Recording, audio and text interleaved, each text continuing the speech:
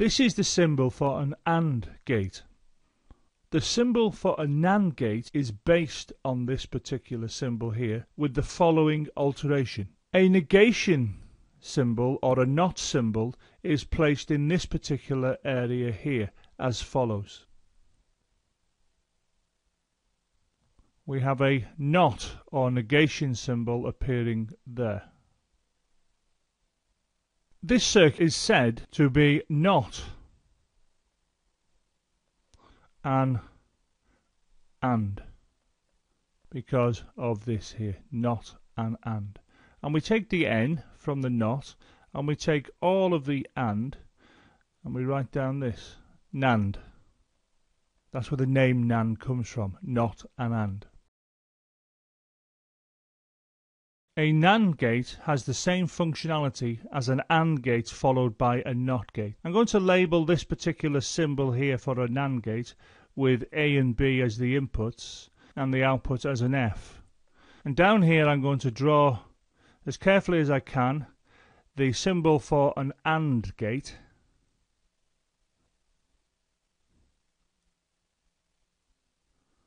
and I'm going to take the output of this AND gate and I'm going to put it to the input of a NOT gate.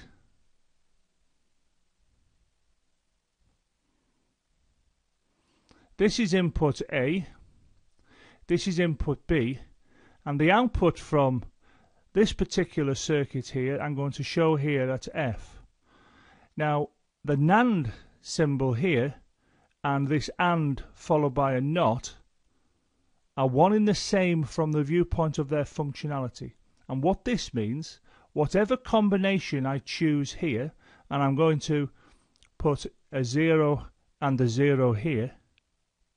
Now this is an AND gate, and we must remember the only time we get a 1 at the output of an AND gate is if both inputs are a 1. Well here we can see the inputs are both 0. So at this particular point I'll get a 0. Now that's the output of the AND gate. Now of course this is a piece of wire. Consequently the input to the NOT gate will be a 0. Now we know a NOT gate will invert its input and its input is a 0 so the output here would be a 1. Now a NAND functionality would be the same.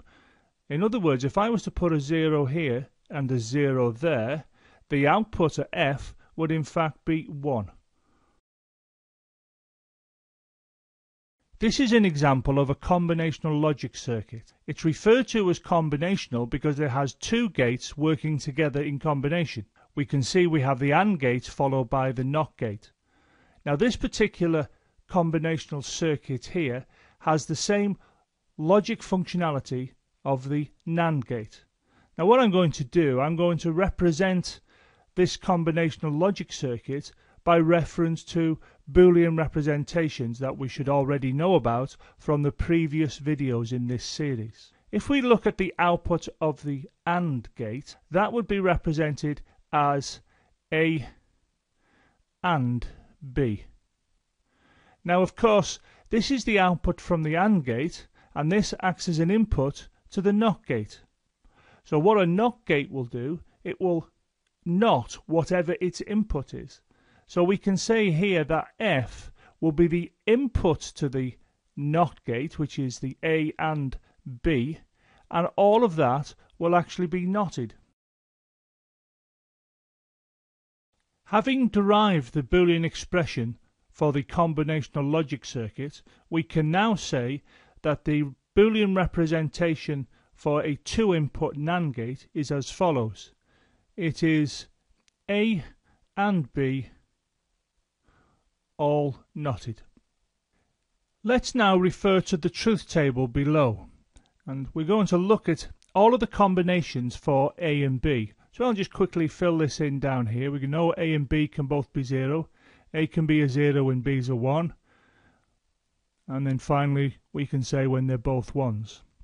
Now what I'm going to do here, I'm going to have a look at this column here.